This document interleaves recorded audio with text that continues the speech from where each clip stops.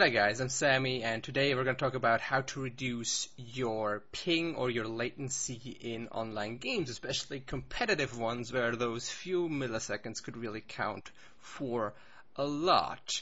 Now, it's not guaranteed that there's anything you can do about your ping, which I'm going to explain why that is in a few seconds, but there's a really high chance that there are some things that you can change in order to improve your ping.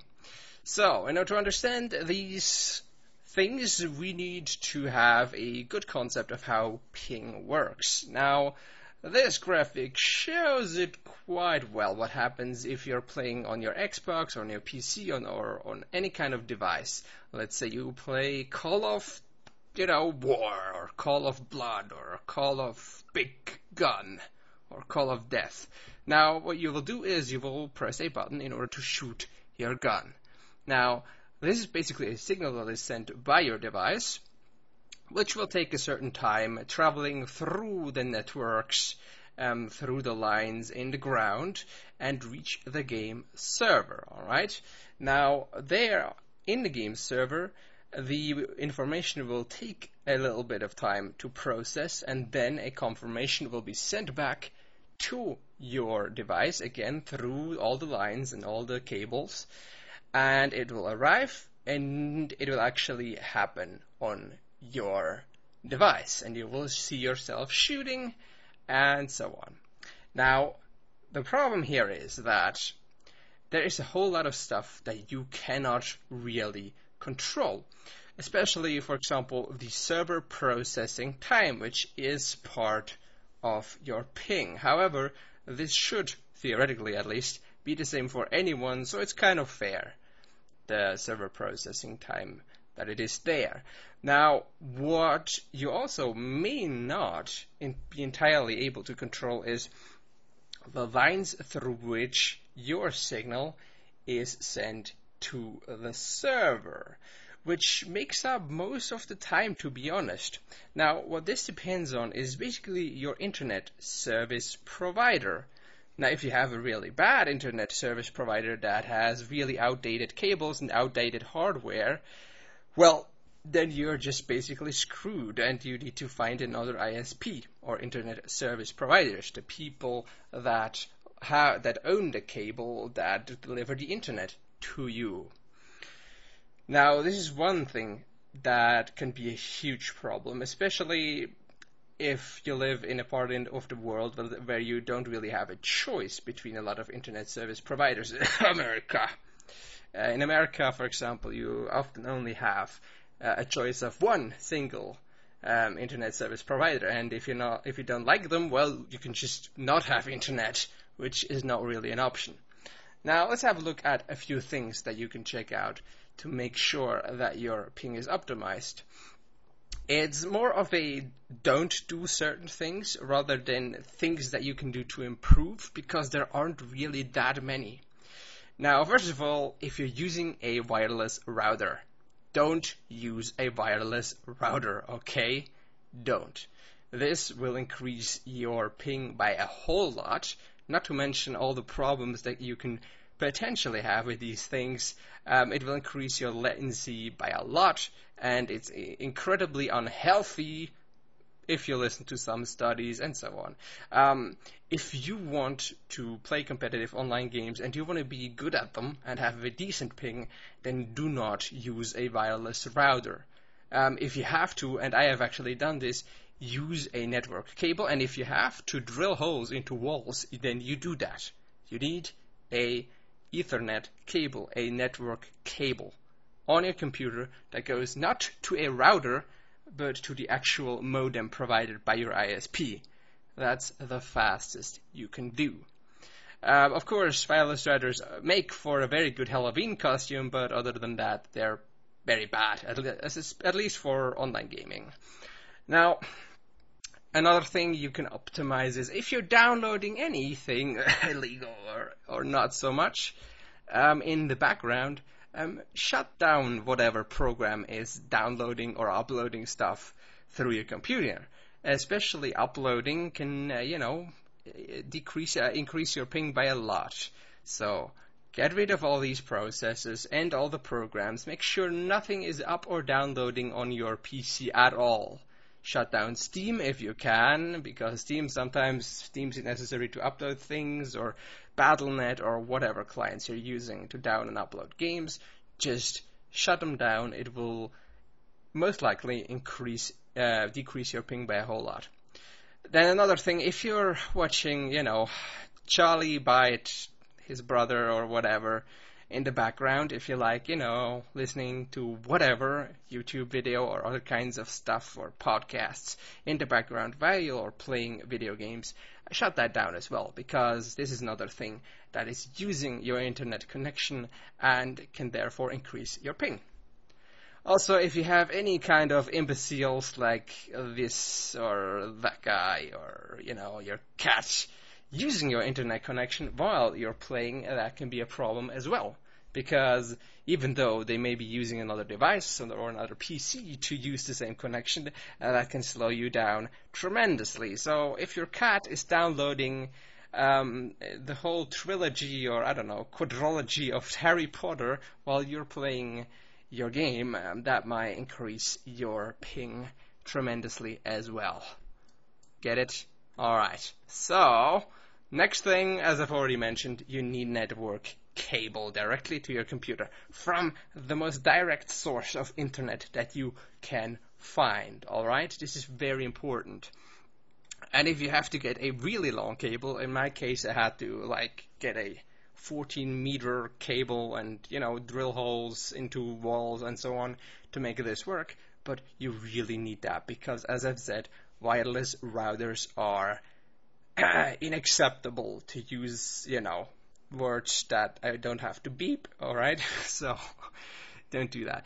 Now, another thing, obviously, your ISP. As I've already mentioned, your ISP can really screw you over in that sometimes they will make connections slower at certain times, especially at peak times like 6 p.m. to 12 uh, to 10 p.m. in the evening and it's a whole mess, alright? And there's not that much you can do in some countries of the world, but in others you can just simply um, change your ISP. Also, if you're really serious about using the web 24/7, you might want to have two ISPs and be able to switch between them whenever you need, which can also help you improve pings. And well, if one ISP stops working, you can simply switch to the other, which is awesome. Uh, yeah, but ISPs are, you know, generally pretty bad people in my opinion because, well, they make their money by just having owning cables, having a monopoly on cables. And as long as there is really no um, considerable other people that are providing this, uh, the same service or you know competition as they call it in economics, um, they really don't have any incentive to provide a good customer experience to you, which is kind of sad. Um, then another thing that's very important and that has screwed me over in the past, in the pretty distant past, but nonetheless, is malware. Now, what you need to realize is that your virus scanner, though I hope you, you have a virus scanner or an antivirus software, will not recognize all malware it only detects the most well-known and the most common malware. Uh, but there's there will always be malware that goes through all these um, these security programs. So what can happen is that you might not be able to notice it, but someone might be using your computer to send, for example, emails or to mine data or to mine Bitcoin, and they are using your internet connection without your knowledge they may also be doing that with other PCs that are on the same network as yours. So if your dad, your sister, your mom has a virus mining stuff on their PC, that might slow down your internet connection as well. So I would recommend you get rid of all the malware on your own PC and on the PCs connected to your network, which can also decrease your ping because these bastards people stuffs these evil people that use your PC without your knowledge um, are then unable to do that, which will free up a lot of um, traffic from your network and decrease your ping. Also, if you have any unnecessary firewalls in a, uh, running on your PC, shut them down. Might work a little bit, doesn't do that much, but you know it helps. Maybe one millisecond or so. I don't know. You can try that as well. Yeah. So as I said, malware can really screw you over. Um, yeah, and there's also game clients that, without your knowledge, uh, include uh, P2P sharing of, of game files in order to, you know, outsource the downloading and uploading of, of, of games. You should, you know, look into that, disable it, or just end the, the game processes once you're not playing a game. That can help optimize as well. And in general, everything that helps free up traffic on your line may be useful to you. What's also useful is if you're in a really, you know, in one of those I don't want to say third world countries, but you know, kind of second, third world countries where internet connections are generally incredibly slow, like India or South Africa or wherever you may be in the world, um, and you have real slow internet. Um, you may also want to look into um, VPNs, gaming VPNs, a virtual private network.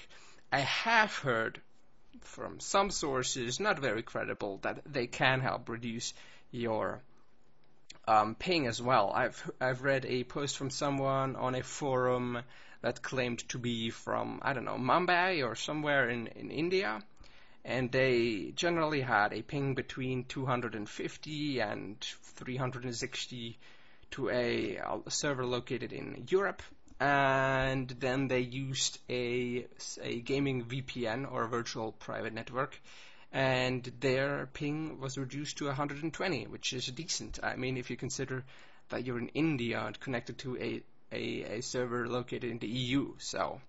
And that, that's also another thing. Um, if you're connected to the wrong server, so for example, you're in Europe and you connect to a North American server, that's sub-ideal, obviously, because let me just show you this graphic right here.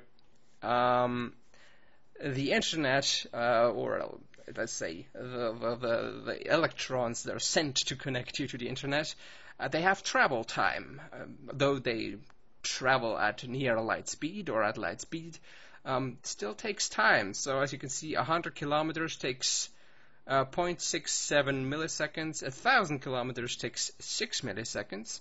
10,000 kilometers takes 67 milliseconds. So I guess from America to Europe, that, that might be just increasing your your latency by 67 milliseconds each way, and it's got to travel twice, all right? And that's not even counting the server processing time. So you have 120, 130 milliseconds just from the travel time alone.